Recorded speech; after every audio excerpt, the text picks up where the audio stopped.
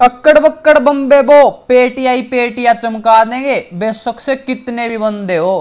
भाई चोरे कति धुआँ ठा दे धुआँ। क्या बात करते हो धुएँ की? लगा देंगे। आग। भाई पेटी तो ज़रूर चमकेगी। अब मत भाग।